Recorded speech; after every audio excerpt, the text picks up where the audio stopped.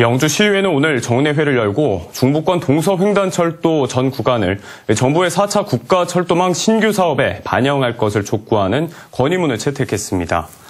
영주시의회는 건의문을 통해 첨단 베어링 국가산업단지의 운영을 위해선 중부권 교통물류망 구축이 절실히 요구되고 국토 균형 발전을 위해서도 필요한 사업이라고 강조했습니다.